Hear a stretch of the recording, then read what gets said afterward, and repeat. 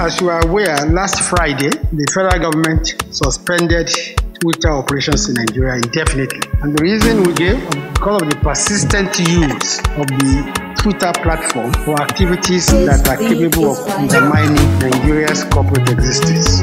I want to make it clear Twitter, mission in Nigeria is suspect. Suspect. Su- suspect. Suspect. Jack Dorsey, suspect. And his interest in Nigeria is inimical to our growth. What? Our decision to suspend uh, Twitter has been lauded by some. It has been uh, it has been uh, decried by some. What is important to us? I want to make it clear. Twitter, the mission in Nigeria is suspect. Suspect. Su- suspect. Suspect.